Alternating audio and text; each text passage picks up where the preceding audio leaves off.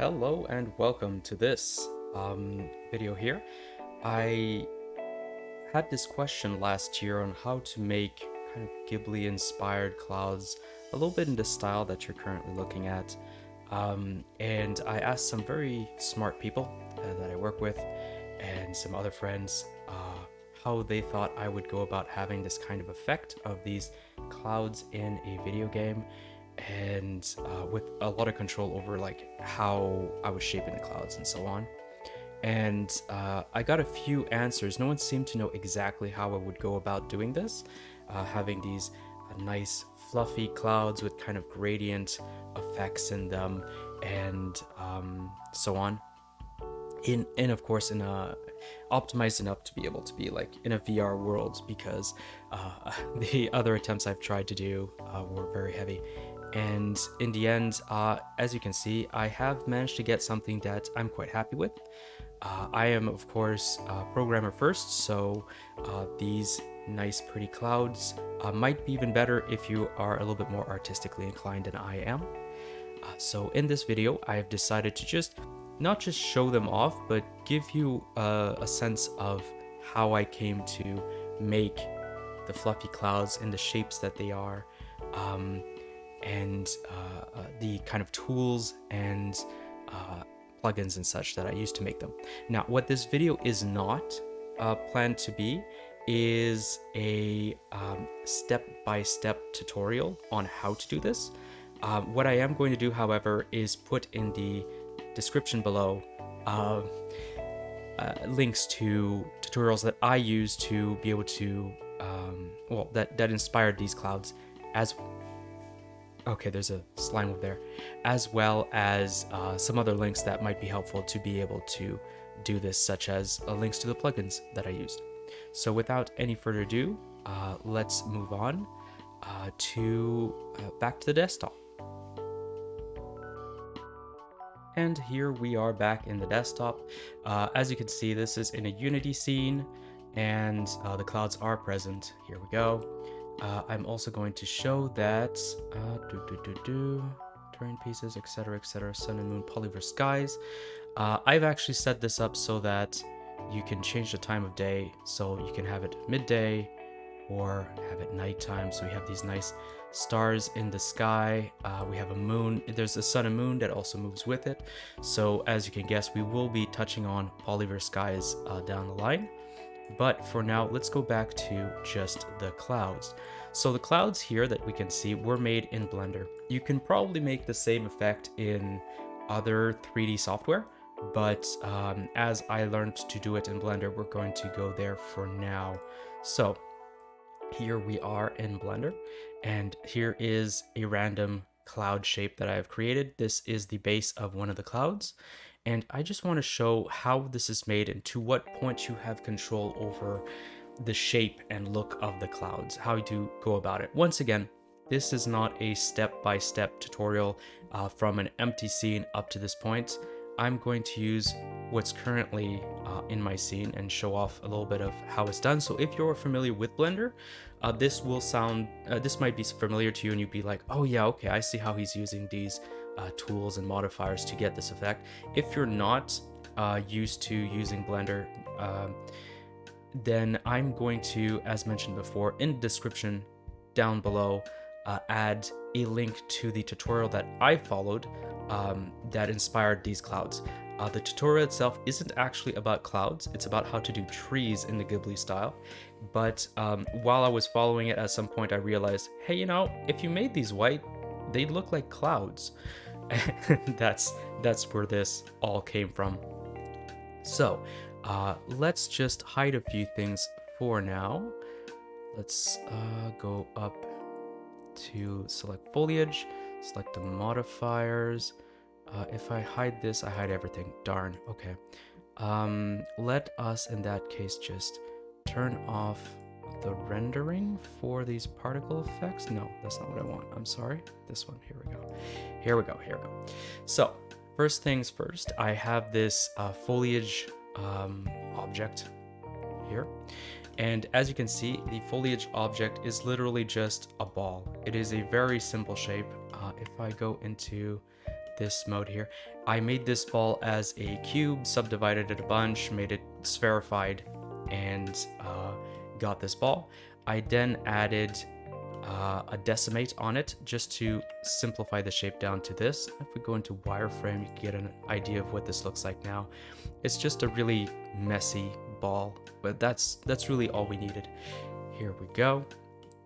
And uh, secondly, um, I also let's just turn this off the data transfer thing as well. Uh, so yeah, it, it is even smooth. It's it's really messy, and that is exactly what we want. Because the next thing we're going to want to do is use this ball as a particle, uh, particle instance on on something else. So let's just hide this for the moment and go to that something else. So up here in this collection, I have something called particle emitter. That's really the only thing that's really important right now. So let's show this. And as you can see, we have this lumpy shape here as such. If we go see the wireframe, it, it's quite you know, there's quite a little bit of geometry on it. Uh, you don't have to do that. I'm fairly certain that if you just gave a basic shape on it, you can get whatever you wanted.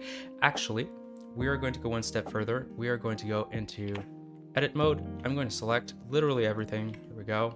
Just to show how much control over the shape you can have, we're going to do remove this, remove faces.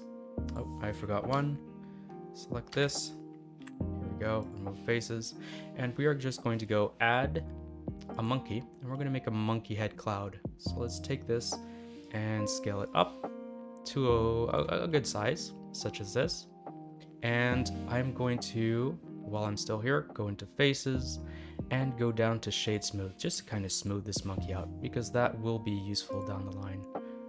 Uh, can I have it without the, oh, I'm sorry, I have to get out of polygonal mode. So yeah, we have this nice monkey shaped uh, cloud here.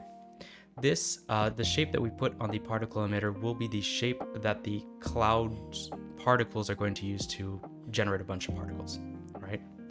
So if we go back to our foliage, still called foliage, and show it, we're going to be able to see that nothing happens because I've turned a few of these things off. That's fine.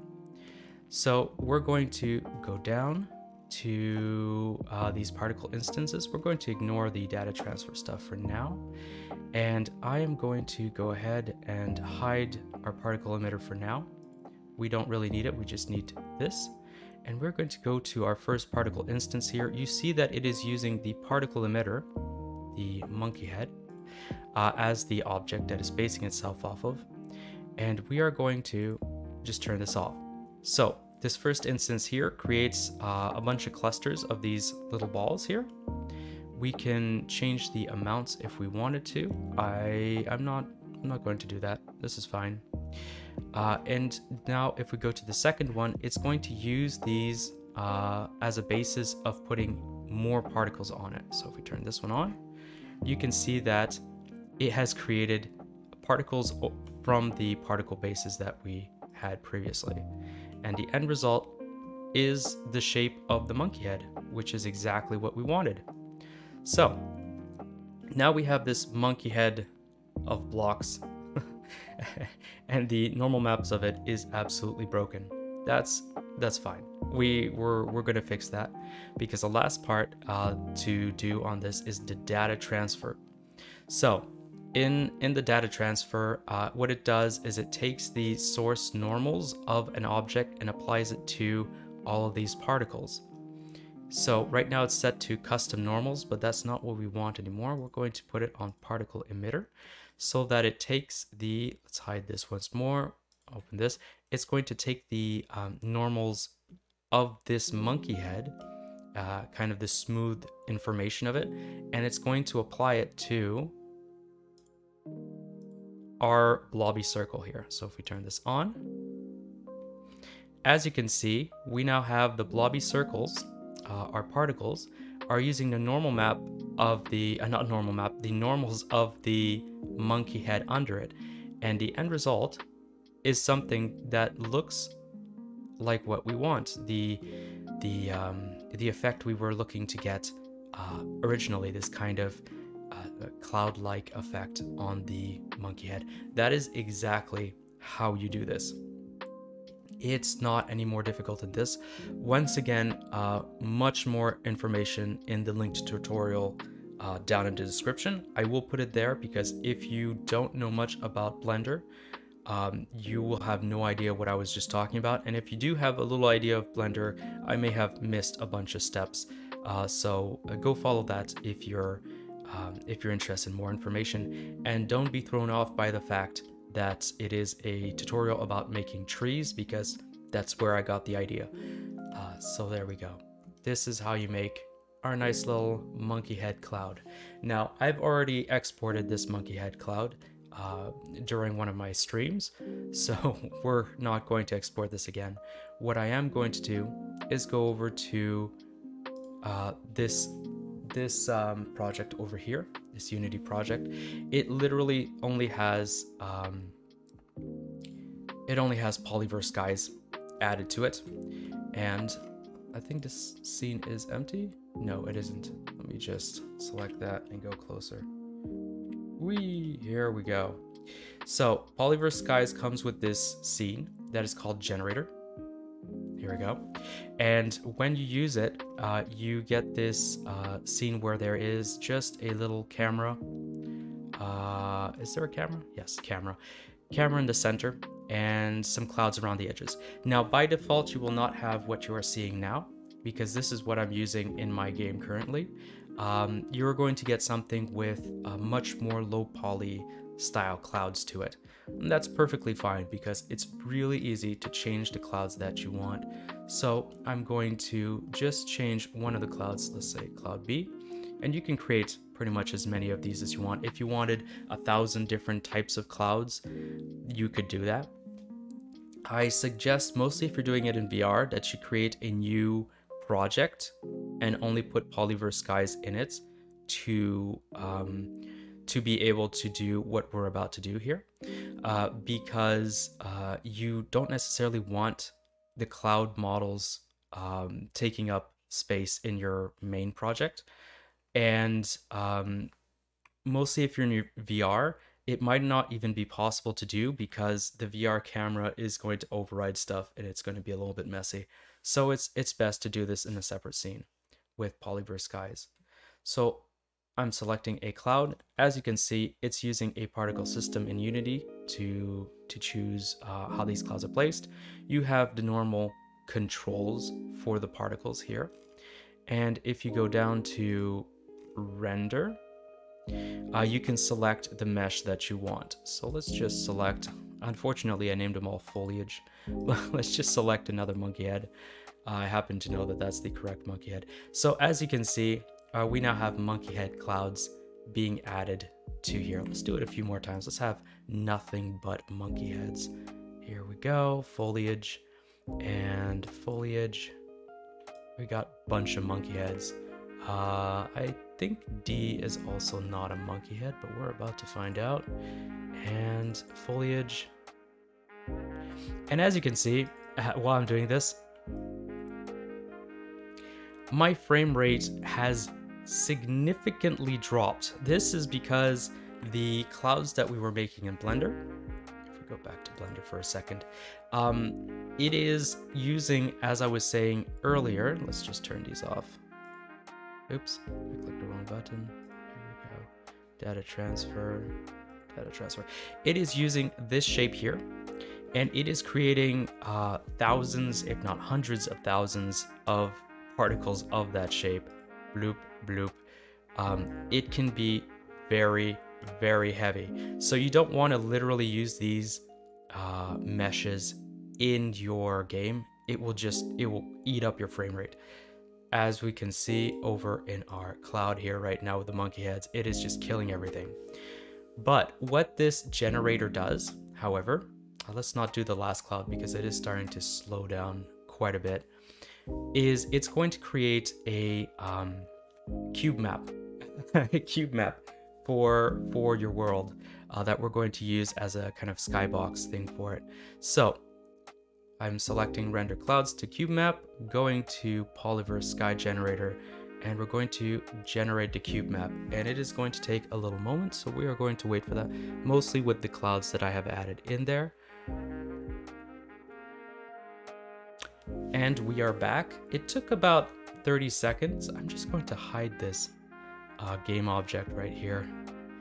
Here we go. So you can see the frame frame rate dropping quite a bit uh, with these clouds in, which is why I was saying you don't want to literally use these game objects. So I'm just gonna, please, there we go. And now our frame rate is back to normal. And as we can see, we have our monkey heads all over the all over the air. Uh,